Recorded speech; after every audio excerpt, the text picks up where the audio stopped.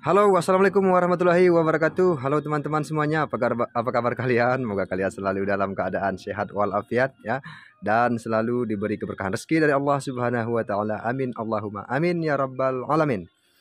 Oke, lanjut saja teman-teman ya. Jadi seperti biasa, kita kedatangan satu motor Beat yang 2014 seperti ini. Ini dia. Yang starter halus ya jadi di sini kendalanya teman-teman bermasalah di bagian starter ya. Starternya tidak bisa nyala ataupun tidak nyambung di bagian tombol starternya ya, tidak nangkap sama sekali. Langsung saja kita akan tes terlebih dahulu. Ini dia. Bisa kita pastikan di bagian aki tidak ada bermasalah menurut saya karena klakson nyala Kemudian lampu sein juga bagus ya, tidak ada kendala. Intinya di bagian aki tidak bermasalah teman-teman ya, karena menurut penutur yang teman eh, yang punya ini katanya akinya baru diganti. Jadi setelah ganti aki, selama beberapa minggu motor ini tidak bisa disetar lagi katanya ya. Jadi langsung saja kita akan periksa terlebih dahulu. Tes ini dia. Tidak nyambung sama sekali ya. Kemudian kita gunakan di bagian switch starter di bagian kiri ataupun yang rem belakang tidak juga nyala sama sekali. Ya. Jadi untuk langkah pertama teman-teman ya supaya teman-teman tidak terlalu pusing mengatasi motor yang bis, tidak bisa starter ya. Jadi kita pastikan dulu di bagian tombol starternya connect ya. Jadi jangan jangan ter, terlebih terlalu Jangan terlebih dahulu kita beli di bagian tombol starternya teman-teman ya. Usahakan uh, dipastikan dulu maksudnya dipastikan dulu tombol starternya ini aman apa atau tidak. Apabila sudah rusak baru kita ganti ya. Caranya seperti ini untuk memastikan tombol starter bagus apa tidak. Ini kita langsung saja seperti ini. Ambil kabel seperti ini ataupun bisa menggunakan kabel ini kawat ya. Bisa menggunakan kabel bisa juga menggunakan kawat. Yang penting ini connect langsung maksudnya seperti ini. Oke, langsung saja kita akan tes. Kunci kontaknya on. Tidak juga nyala ya. Seharusnya kalau dia bermasalah di bagian tombol starternya, begitu kunci kontak on, langsung nyala starternya. Tetapi ini tidak ada bermasalah ya. Hmm. Ini dia. Oke, Berarti di bagian tombol tombol starternya tidak bermasalah teman-teman ya. Jadi langsung saja kita akan periksa yang langkah kedua. Langkah kedua kita pastikan kita akan buka dulu di bagian batok depan ini. Ya, kemudian kita periksa di bagian switch starter. Baik itu di bagian RL ataupun RL seperti itu, kanan kiri maksudnya, oke? Langsung saja kita akan buka.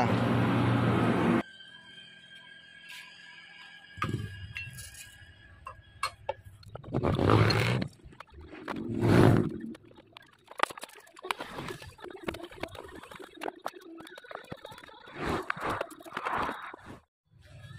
dia teman-teman ya di bagian kap batok depannya sudah dibuka. Ini dia.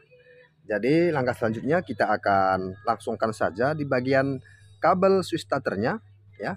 Yang mana juga boleh baik itu yang di belah sebelah kiri ataupun yang sebelah kanan tidak bermasalah ya. Caranya seperti ini. Ini bisa dicabut soketnya. Oke. Kemudian yang ini. Ingat ya. Yang ini yang di bagian dalam bukan yang bagian luar karena ini di bagian switch starter ya. Ini dia. Ini bisa di jumper seperti ini. Dilangsungkan saja. Oke. Setelah begini kita akan tes starter. Nyala.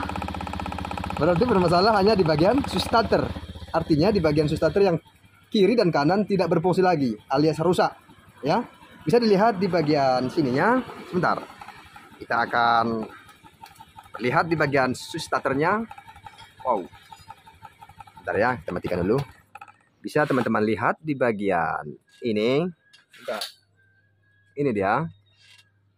Nih, terlihat. Ini sudah kuncup ke dalam. Ya. Kemudian kita periksa switch starter di bagian kanan ataupun yang depan ya, rem depan maksudnya. Bisa dilihat. Terlihat ya. ini dia. Oh kurang jelas.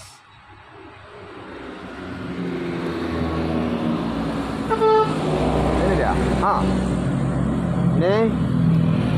Ini juga kuncup ini. Sebentar saya akan buka ya ini dia teman-teman ya sudah saya buka. Langsung saja kita akan cabut soketnya.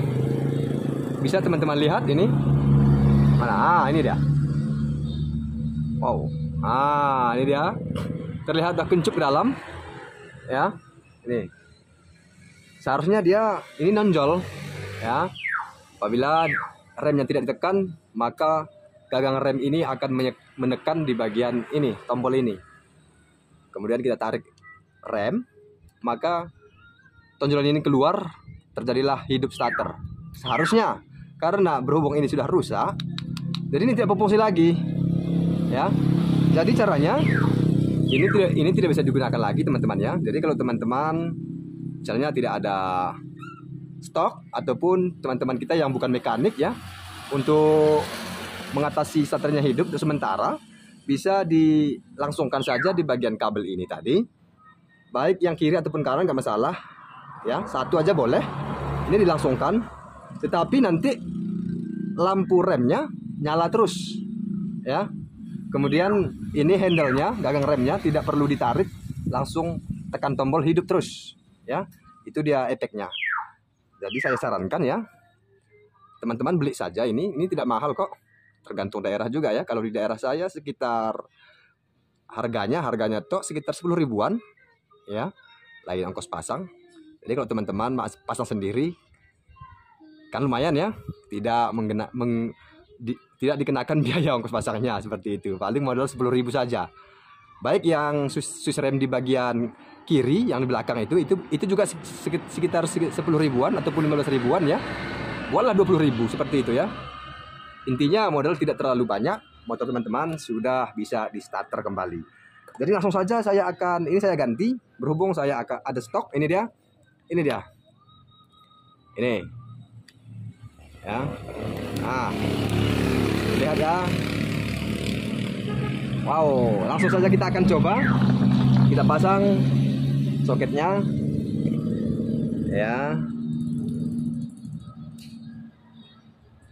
sebentar oke kemudian yang switch ini tadi yang kita langsungkan tadi kita cabut saja ya. Ini cabut saja oke. Kita akan coba nyalakan mesin. Ini ini nanti apabila kita pasang ini nekan ditekan oleh gagang rem ini. Ya coba. Oke. Ini saya tekan teman-teman ya. Tidak nyambung. Kemudian saya lepas. Hidup. Oke. Paham teman-teman ya coba kita sekali, lagi supaya jelas ini saya tekan on kemudian tombol starternya ditekan nah ini tidak tidak nyambung karena saya tekan ya apabila saya lepas seperti ini Wow, nyala ya. Jadi intinya bermasalah di bagian switch starter saja. Ya. Jadi berhubung di bagian starter di bagian kiri ataupun yang di bagian belakang tidak ada stok saya, saya akan ganti di bagian depan ini saja teman-teman ya. Oke. Jadi terima kasih sudah menyaksikan video ini sampai akhir. Mudah-mudahan bermanfaat bagi teman-teman semua. Jika berkenan tekan tombol like subscribe. Terima kasih. Wassalamualaikum warahmatullahi wabarakatuh. Sampai jumpa di video-video berikutnya. Salam Fendi Bengkel Channel. Dadah.